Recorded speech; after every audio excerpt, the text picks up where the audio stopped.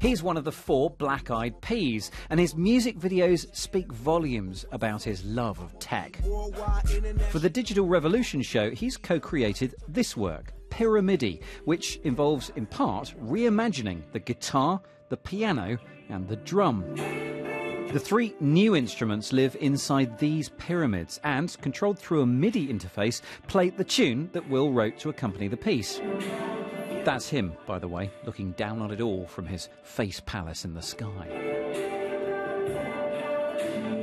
What's the story behind Pyramidi then?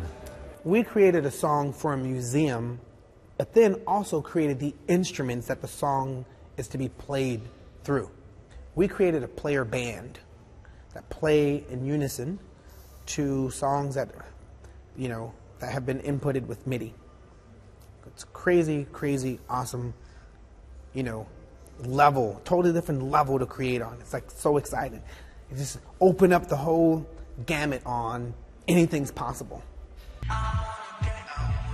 People are walking around with their with their phones and their tablets, you know, multitasking, living two lives at once. You go on a date with your loved one, your your significant other, and you're not even there. You're tweeting. You're tweeting. Both of you guys are tweeting. It's like it's kind of nuts. It's new though, but I just think this is just an interim. I don't think it's going to be like this forever. I think this is just right now.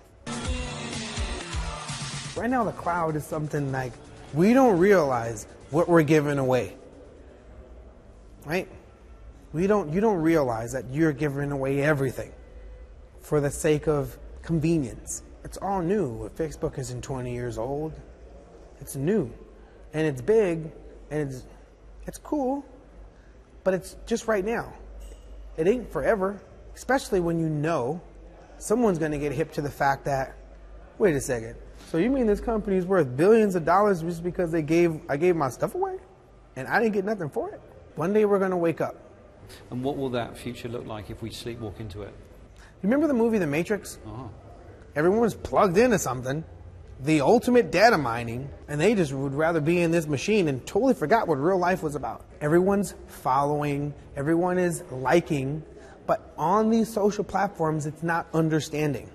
There is no button to understand. They don't care if you understand what's popping off. So we have surrendered and surrendering so much for this for convenience, for free.